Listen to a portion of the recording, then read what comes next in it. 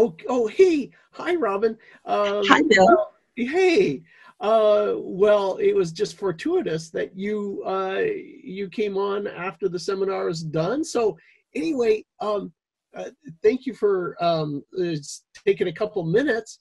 Uh, you you had a couple of experiences. Can you can you just tell us what what happened? You, you had a.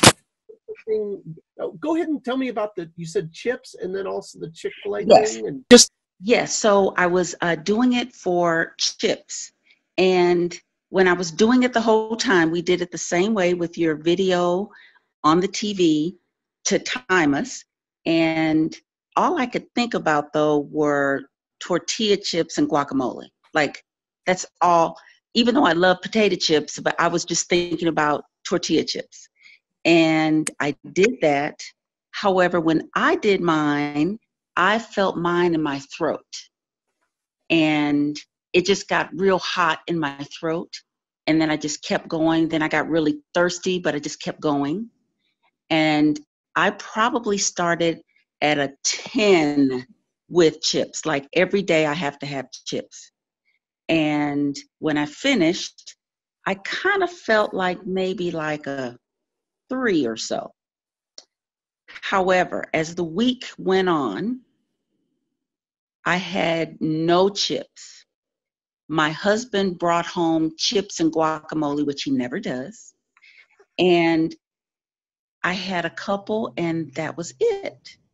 So, since that time, which is over a week ago, I haven't had any tortilla chips and guacamole. But unfortunately, I've been wanting regular potato chips. So when I was when I was doing the Cogno ball, I was thinking about the tor- the tortilla chips and not about potato chips. So I have to I think I need to do it again with potato chips. it'll be it'll be it might even surprise you that the potato chips might be somewhere else too in your chakras but um it, it'll be interesting to see what happens but um did so question does Uh-huh. when your husband brought home the the chips and guacamole Mhm. you notice the enjoyment you know kind of the what call oodles of pleasure meaning how much enjoyment you got out of the chips Where, did you notice that you got the exact same amount of pleasure or it just didn't taste as the same or what did it taste the same or not or what did what was your experience when you did eat it I ate it then because I felt obligated to eat it Okay. and that's what I'm used to doing, but there was not the enjoyment. ah And There was it, you know, the taste I I think was the same, yeah but I just didn't didn't before I was um, it was almost un, an uninsatiable kind of need for the chips and guac. Just had to have more and more and more. And this time he brought there with it was in a it was from La Hacienda, and they had two big giant scoops of guacamole and three bags of tortilla chips. Normally I'd go through a whole bag, you know, that same sitting. Sure. And there's still two bags sitting in the kitchen now. how many how long has it been? How long has it been for you now? since you did It's just been um, a couple of weeks, maybe, maybe two and a half weeks. okay Yeah. okay all right so it's pretty recent All right. Yes, yes, yes. you probably haven't noticed uh, you know any difference in how your clothing fits or anything like that How I'm what? how your clothing fits meaning you know the Oh. signs of weight loss Um, slightly, absolutely. Yes. Now that you ask me, yes. okay all right yeah that's how i, I haven't got haven't gotten on the scale. yeah well you know it, it, it's very um it's uh it- just a little bit at a time uh, uh wonderful oh my god so so tell me about the the whole thing with your uh the other chick-fil-a and the daughter and that tell us about Yes. that Yes. So my niece was here to visit for a week, and she's in college in Texas.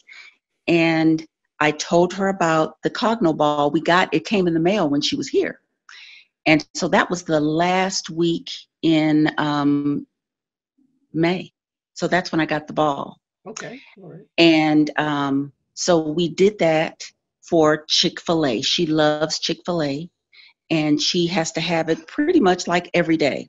At her school, it's one of the choices for them to eat in the cafeteria area. And she says, I eat Chick fil A all the time. I just love that sweet tasting chicken. I said, Oh, they soak it in sugar. I'm sure they do. And she just loves it. And I said, Okay, let's do the Cogno Ball for that. And we did it for the 15 minutes with your tape playing. And I loved it when you said, okay, keep going. You're halfway through, you know, keep going. So we kept going. While she was doing it, about 10 minutes in, she got a stomach ache, like a really intense stomach ache. She said, Oh my God, I want to sit down. Oh my goodness, I, my stomach hurts so bad. And I remember what you said. You said, You just have to work through it and keep going. And so I said, Just keep going just five more minutes, just keep going. She did, it went away, and she went from, she started probably about an eight or a nine, she said. And when she was done, she was at about a four. Yeah. However, when she went to school, which was the real test, it was, she said, I haven't had, I had Chick fil A once, and I haven't had it very much, if at all. So it's probably gone down further than the four, if you ask me. Yeah. Awesome. Awesome. Wow. Thank you for sharing that. That's just I, I love it. I love that you you actually did it. You did the exercise. And uh and and you know the important thing that you said, you know, you you just allowed yourself to really enjoy the guacamole and that sort of thing. And and uh, i love that part of the story. I also love that you're you, you know you watched all the instruction and you knew when the pain starts to keep muscling through it. Yes. uh, everybody wants to stop when it when those terrible feelings happen in their center line. So anyway awesome! Yeah. thank you for sharing that well, thank you for listening and coming up with something so fabulous to help so many people. Yeah, it really it's a you know it's it's it's kind of a crazy that it works, but it does. Yeah, yeah, yeah. Thank you. Thank you, Phil.